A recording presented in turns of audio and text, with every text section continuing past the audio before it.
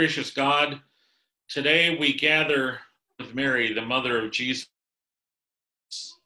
and the others around the cross upon which Jesus dies, is crucified and dies, who carries upon his shoulders the weight of our sin, the weight of our brokenness, the weight of our pain, the weight of our fear and struggle.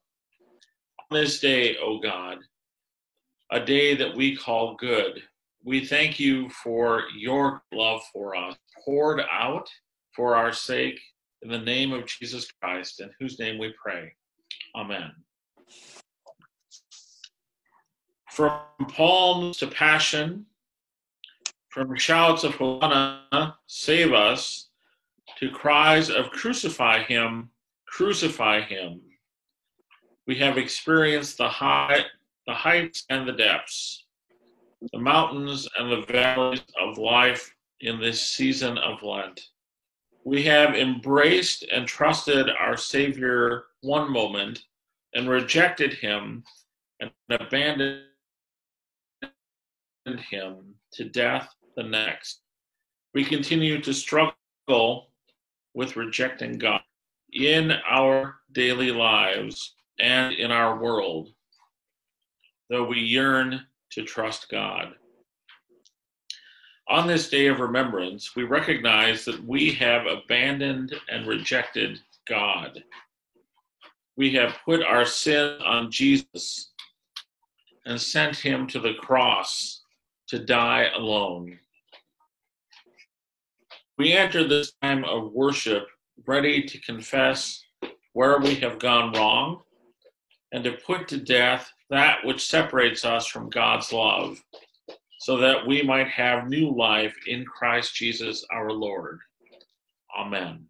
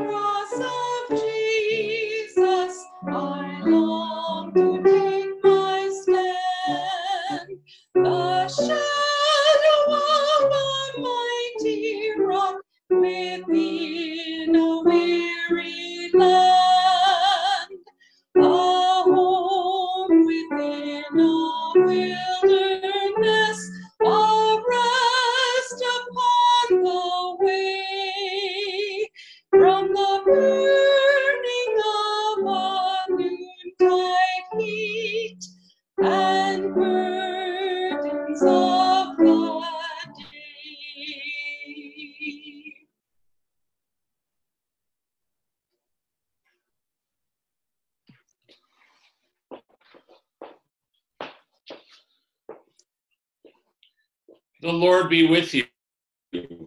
Let us pray. Oh my God, look, loving mercy on your family, for whom our Lord Jesus was willing to be betrayed, to be given over to the hands of sinners, and to suffer death on the cross, who now lives and reigns with you and the Holy Spirit, one God, forever and ever. Amen. We now hear God's holy word.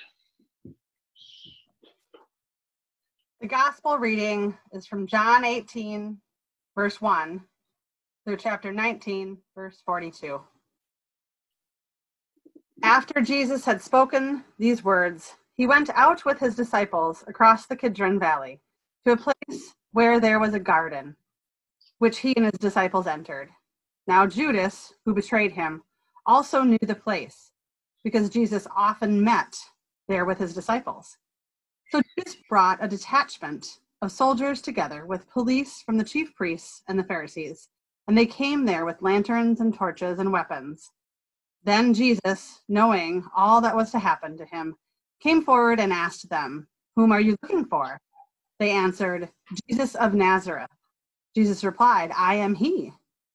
Judas, who betrayed him, was standing with them. When Jesus said to them, I am he, they stepped back and fell to the ground. Again he asked them, Whom are you looking for? And they said, Jesus of Nazareth. Jesus answered, I told you that I am he. So if you are looking for me, let these men go. This was to fulfill the word that had been spoken. I did not lose a single one of those whom you gave me. Then Simon Peter, who had a sword, drew it, struck the high priest's slave, and cut off his right ear. The slave's name was Malchus. Jesus said to Peter, Put your sword back into its sheath. Am I not to drink the cup that the Father has given me? So the soldiers, their officer, and the Jewish police arrested Jesus and bound him. First, they took him to Annas, who was the father in law of Caiaphas, the high priest that year. Caiaphas was the one who had advised the Jews it was better to have one person die for the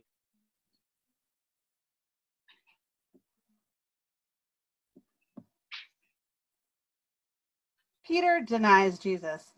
Simon Peter and another disciple followed Jesus. Since that disciple was known to the high priest, he went with Jesus into the courtyard of the high priest. But Peter was standing outside at the gate. So the other disciple, who was known to the high priest, went out, spoke to the woman who guarded the gate, and brought Peter in. The woman said to Peter, You are not also one of this man's disciples, are you? He said. He said, I am not. Now the slaves and the police had made a charcoal fire because it was cold. They were standing around it and warming themselves. Peter also was standing with them and warming himself. Then the high priest questioned Jesus about his disciples, about his teaching. Jesus answered, I have spoken openly to the world. I have always taught in synagogues and in the temple where all the Jews come together. I have said nothing in secret. Why do you ask me? Ask those who heard what I said to them. They know what I said. When he had said this, one of the police standing nearby struck Jesus on the face, saying, Is that how you answer the high priest? Jesus answered, If I have spoken wrongly, testify to the wrong. But if I have spoken rightly, why do you strike me? And Annas sent him bound to Caiaphas, the high priest. Now, Simon Peter was standing and warming himself. They asked him, You are not also one of his disciples, are you? He denied it and said, I am not one of the slaves of the high priest, a relative to the man whose ear Peter had cut off, asked, Did I not see you in the garden with him? Again, Peter denied it, and at that moment the cock crowed. Then they took Jesus from Caiaphas to Pilate's headquarters. It was early in the morning. They themselves did not enter the headquarters so as to avoid ritual defilement and to be able to eat the Passover. Pilate went out to them um, and what accusation do you bring against this man?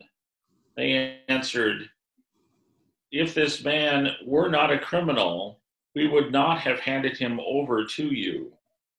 Pilate said to them, Take him yourselves and judge him according to your law. The Jews replied, we are permitted to put anyone to death. This was to fulfill what Jesus had said when he indicated the kind of death he would die. Then Pilate entered the headquarters again, summoned Jesus, and asked him, Are you the king of the Jews? Jesus answered, Do you ask this on your own, or did others ask you, or did others tell you about me? Pilate replied, I am not a Jew, am I? Your own nation and the chief priests have handed you over to me. What have you done? Jesus answered, My kingdom is not from this world. If my kingdom were from this world, my followers would be fighting to keep me from being handed over to the Jews. But as it is, my kingdom is not from here. Pilate asked him, So you are a king? Jesus answered, You say that I am a king. For this I was born, and for this I came into the world, to testify to the truth. Everyone who belongs to the truth listens to my voice. Pilate asked him, What is truth? After he had said this, he went out to the Jews again and told them, I find no case against him, but you have a custom that I release someone for you at the Passover. Do you not? Do you want me to release for you the king of the Jews? They shouted in reply, Not this man, but Barabbas. Now Barabbas was a bandit. Then Pilate took Jesus and had him flogged. And the soldiers wove a crown of thorns and put it on his head, and they dressed him in a purple robe they kept coming up to him saying, Hail, King of the Jews, and strike him on the face. Pilate went out again and said to them, Look, I am bringing him out to you to let you know that I find no case against him. So Jesus came out wearing the crown of thorns and the purple robe. Pilate said to them, Here is the man. When the chief priests and the police saw him, they shouted, Crucify him! Crucify him! Pilate said to them, Take him yourselves and crucify him. I find no case against him. The Jews answered him, We have a law, and according to that law, he ought to die because he has claimed to be the Son of God. Now, when Pilate heard this, he was more afraid than ever. He entered his headquarters again and asked Jesus, Where are you from? But Jesus gave him no answer. Pilate therefore said to him, Do you refuse to speak to me? Do you not know that I have power to release you and power to crucify you? Jesus answered him, You would have no power over me unless it had been given to you from above. Therefore, the one who handed me over to you is guilty of a greater sin. But then on Pilate, from then on, Pilate tried to release him, but the Jews cried out, If you release this man, you are no friend of the emperor. Everyone who claims to be a king sets himself against the emperor. When Pilate heard these words, he brought Jesus outside and sat on the judge's bench at the place called the stone pavement, or in Hebrew, Gabbatha. Now, it was the day of preparation for the Passover, and it was about noon. He said to the Jews, Here is your king. They cried out, Away with him, away with him, crucify him. He asked them, Shall I crucify your king? The chief priest answers, answered, We have no king but the emperor. Then he handed them over to him over to be crucified. So they took Jesus, and carrying the cross by himself, he went out to what is called the place of the skull, which in Hebrew is called Golgotha. There they crucified him, and with him two others, one on either side, with Jesus between them. Pilate also had an inscription written and put on the cross. It read, Jesus of Nazareth, King of the Jews. Many of the Jews read this inscription because this place where Jesus was crucified was near the city, and it was written in Hebrew, in Latin, and in Greek. Then the chief priests of the Jews said to Pilate, do not write the king of the Jews, but this man said, I am the king of the Jews. Pilate answered, What I have written, I have written. When the soldiers had crucified Jesus, they took his clothes and divided them into four parts, one for each soldier. They also took his tunic now the tunic was seamless, woven in one piece from the top. So they said to one another, Let us not tear it, but cast lots for it to see who will get it. This was to fulfill what Scripture said. They divided my clothes among themselves, and for my clothing they cast lots. And that is what the soldiers did. Meanwhile, standing near the cross of Jesus were his mother and his mother's sister Mary, the wife of Clopas When Jesus saw his mother and the disciple whom he loved standing beside her, he said to his mother, Woman, here is your son. Then he said to the disciple, Here is your mother. And from that hour, the disciple took her into his own home. After this, when Jesus knew that all was now finished, he said, in order to fulfill the scripture, I am thirsty. A jar of, full of sour wine was standing there. So they put a sponge full of the wine on a branch of hyssop and held it to his mouth. When Jesus had received the wine, he said, It is finished. Then he bowed his head and gave up his spirit. Since it was the day of preparation, the Jews did not want the bodies left on the cross during the Sabbath, especially because the Sabbath was a day of great solemnity. So they asked Pilate to have the legs of the crucified men broken and the bodies removed. Then the soldiers came and broke the legs of the first and of the other who had been crucified with him. But when they came to Jesus and saw that he was already dead, they did not break his legs. Instead, one of the soldiers pierced his side with a spear, and at once blood and water came out. He who saw this has testified so that you may also believe. His testimony is true, and he knows that he tells the truth. These things occurred so that the scripture might be fulfilled. None of his bones shall be broken. And again, another passage of scripture says, They will look on the one whom they have pierced. After these things, Joseph of Arimathea, who was a disciple of Jesus, though a secret one, because of his fear of the Jews, asked Pilate to let him take away the body of Jesus. Pilate gave him permission. So he came and removed his body. Nicodemus, who, who had at first come to Jesus by night, a mixture and aloes weighing about a hundred pounds. They took the body of Jesus wrapped it with the spice and linen cloths, according to the burial custom of the Jews. Now there was a garden in the place where he was crucified, and in the garden there was a new tomb in which no one had ever been laid.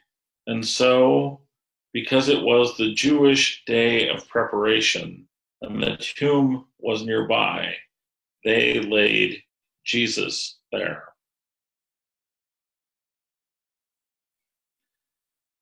The gospel of the Lord. Let us respond Praise to you, O Christ. Praise to you, O Christ. Let us pray.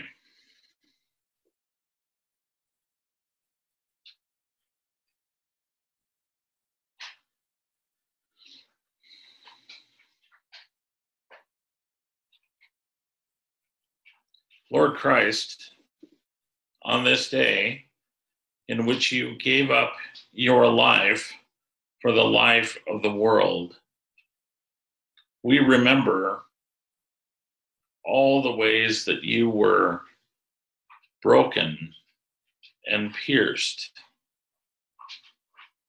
We remember all the ways that you were isolated and alone. We're aware of how those who absolutely fervently admitted that they would never leave you did just that, left you hiding behind rocks and tombs and trees so as not to be identified as a follower of you and your love.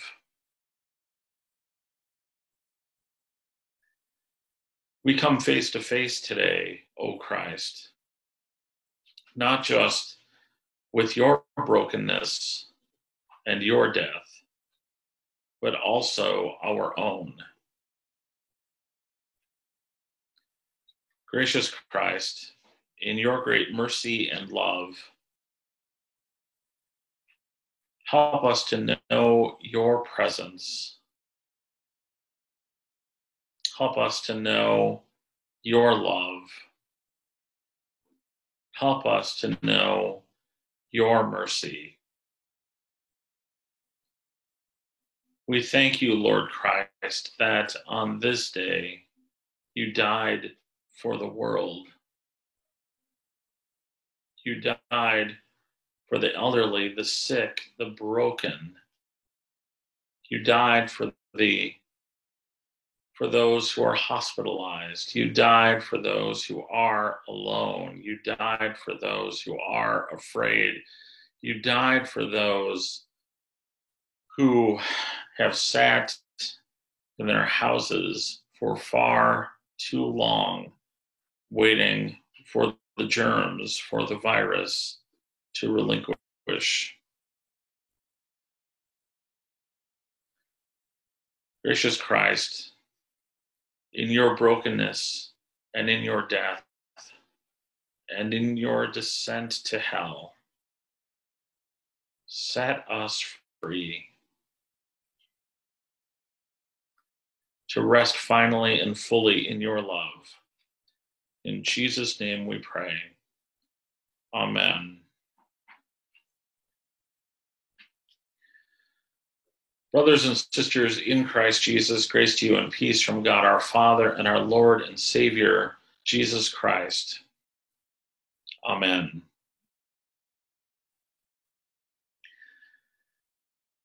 There is something about the story of Jesus' death that causes us not to want to listen too closely.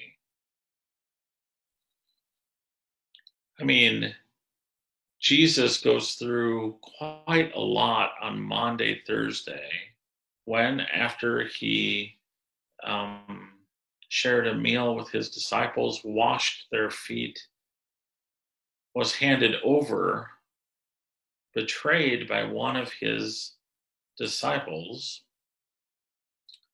who sold Jesus for a mere little bit of money. Jesus then was taken away. And from that point until he is hanging on the cross, everything about who he was and what he was about was questioned. I mean, if the if the experience of watching one disciple betray you with a kiss and another disciple promising to never leave you do just that weren't enough to undo a person, then the very questions that Jesus is asked in this time of deep isolation, and it is an isolating thing, I suppose, when you are the savior of the world, when in fact the rest of the world didn't get the memo or got the memo but didn't want to believe it or got the memo and wanted to ignore it treating it instead as if it were fake news.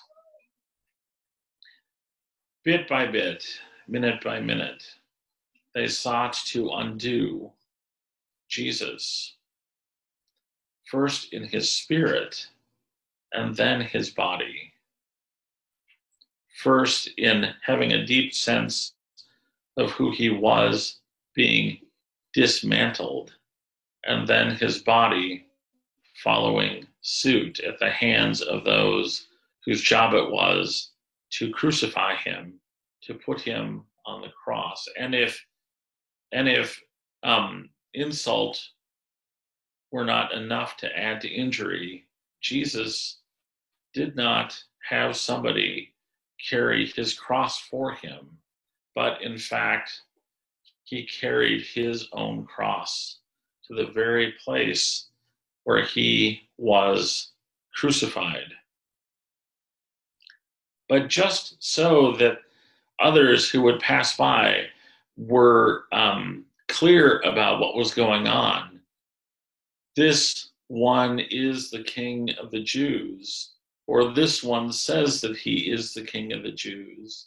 There was an argument about what would be put on that cross as the reason for his death, the reason for his crucifixion, the reason that his body was broken, the reason that his side was pierced, the reason why a crown of thorns was put on his head, the reason people would walk by and mock him and jeer at him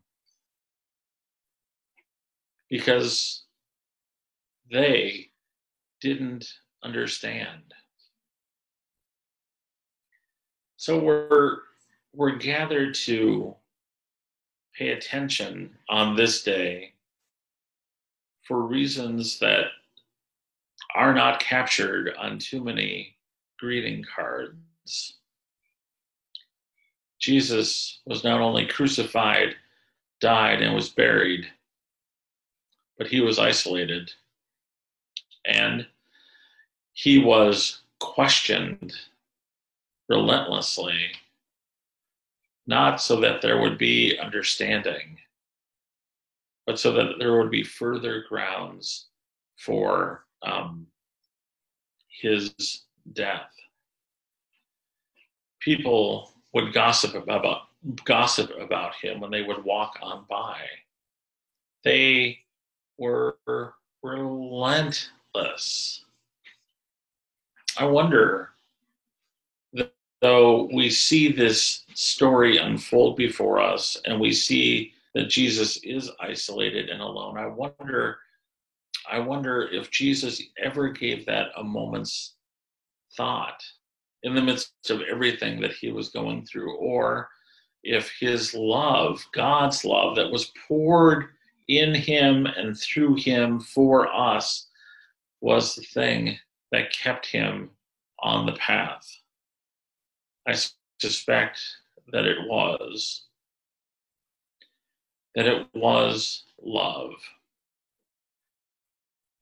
But today we're not only able, through Jesus' death, to pay attention to the way that he died, but to pay attention as well to our own. And I suspect this is really why we have trouble with a day like Good Friday.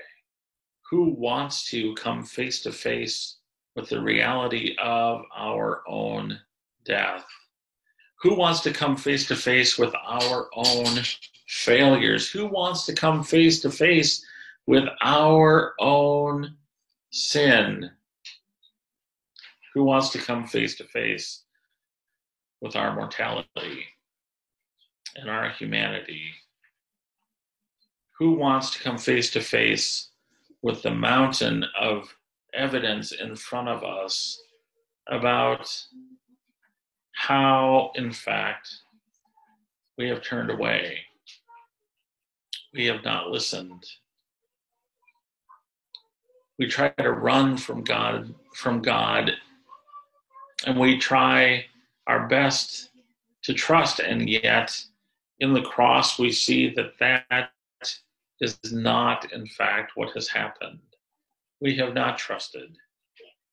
Instead, with the uh, people who shouted, Crucify him, we too take part in that reality where Jesus says, I am your Lord, and our response is, crucify him. And Jesus says, I love you. And we say, crucify him. And Jesus says, I see your brokenness. And instead of allowing ourselves to bask in the glow of God's grace and mercy, we shout, crucify him. And Jesus says, I see your sin. Where Jesus wants to bring forgiveness, we say with Peter, I do not know that one. When when Jesus says, I see how you're isolated, we try to, to turn the tables, to say, I do not know this one.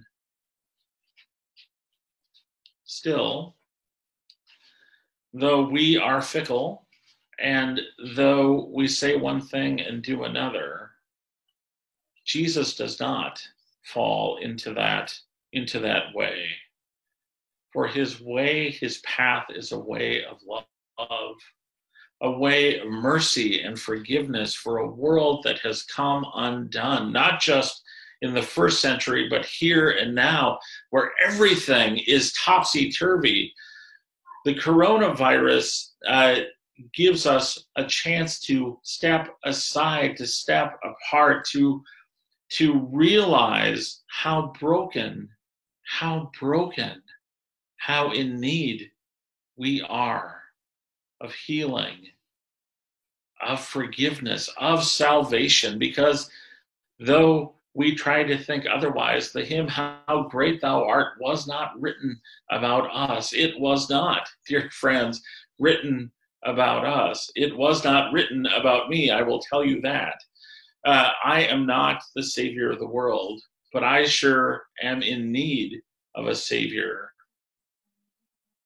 In my own life, I will tell you that one of the things that I have wrestled with uh, probably my whole life, but really haven't been willing to come face to face with, is a sense of anxiety, um, which uh, my dad had and his dad had and other rel- relatives have had along the way.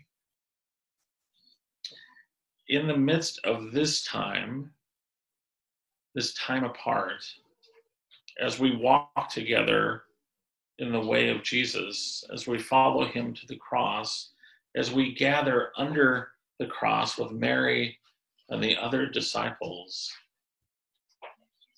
we hear God's promises in a whole new way. I love you.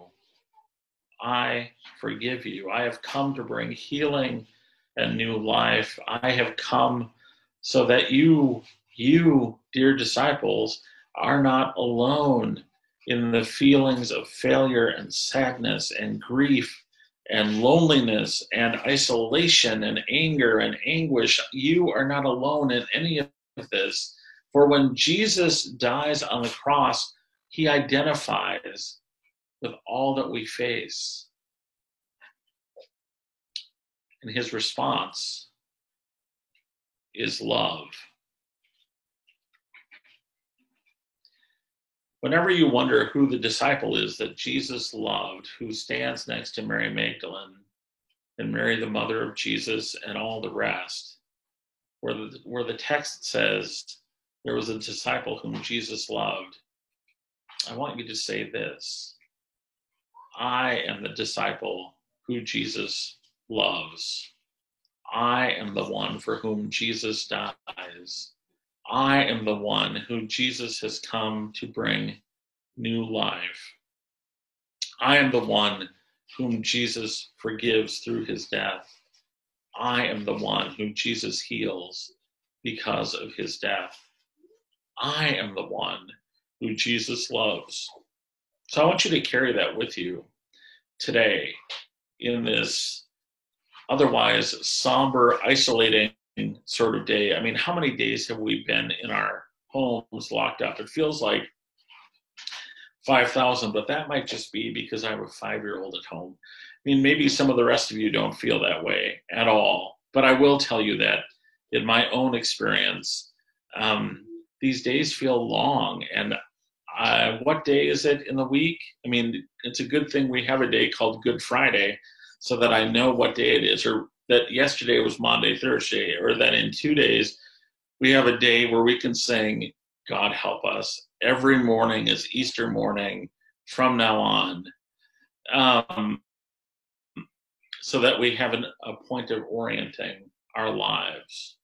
Because this does orient our lives. This story of Jesus who goes through all these things does orient and reorient us it reorients us not around confusion and isolation and anguish and anger and anxiety. It that reorients us around love, a love that is that is um, high and is wide and encompasses the whole world, including you and me.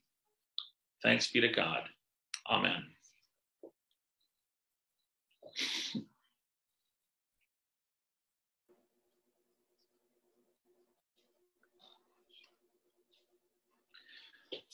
Please join me as we pray together the prayer which our Lord has taught us, which thank God is in the bulletin. Because the last time I forgot it, I forgot a part of it. So together, let us pray. Let us pray. Our Father, who art in heaven, hallowed be thy name. Thy kingdom come, thy will be done, on earth as it is in heaven.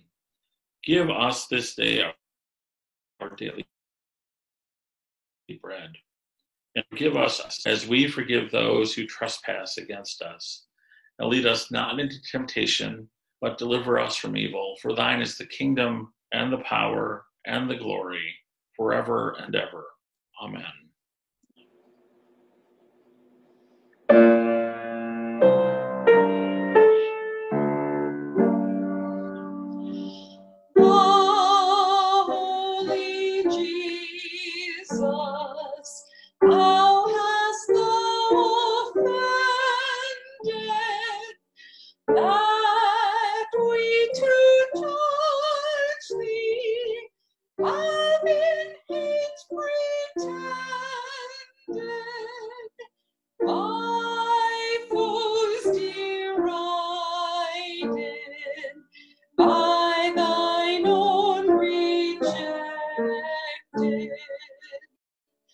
My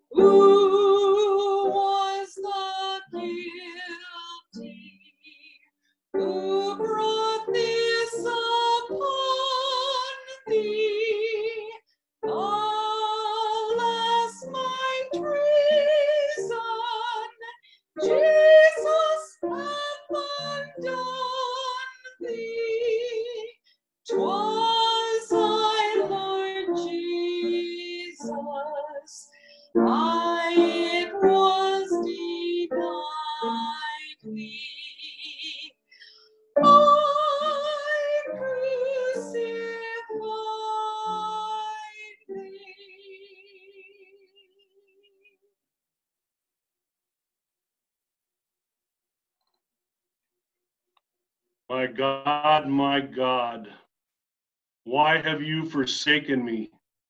Why are you so far from helping me? From the words of my groaning, oh my God, I cry by day, but you do not answer, and by night, but find no rest. Yet you are holy enthroned on the praises of Israel, and you, our ancestors, trusted. They trusted and you delivered them. To you they cried and were saved. In you they trusted and they were put to no shame. But I am a worm and not human, scorned by others and despised by the people. All who see me mock me. They make mouths of me. They shake their heads.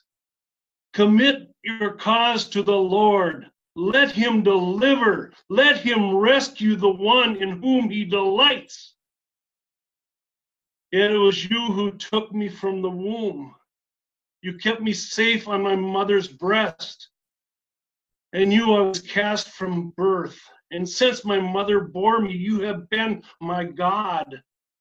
Do not be far from me, for trouble is near, and there is no one to help. Many bulls encircle me, strong bulls of Bashan surround me. They open wide their mouths at me like raving and roaring lion.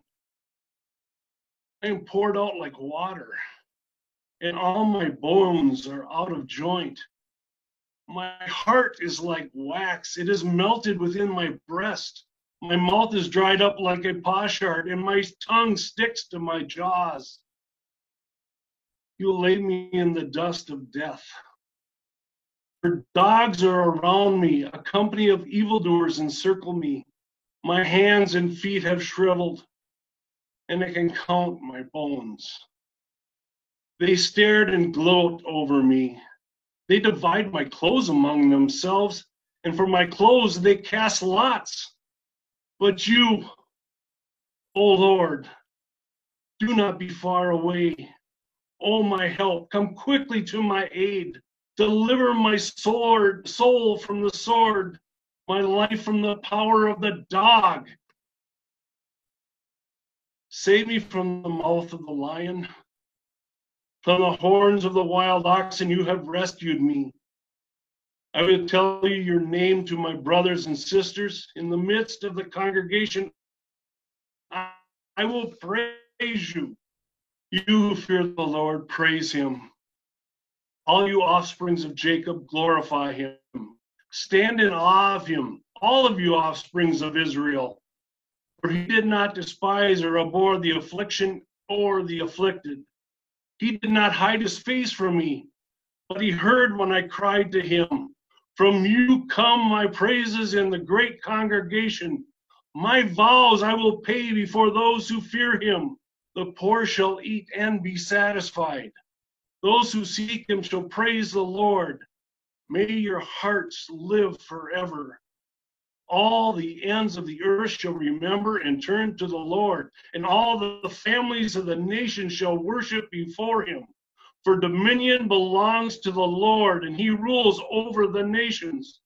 To him indeed shall all who sleep in the earth bow down, shall live in him. Prosperity will serve him Future generations will be told about the Lord and proclaim his deliverance to a people yet unborn, saying that he has done it.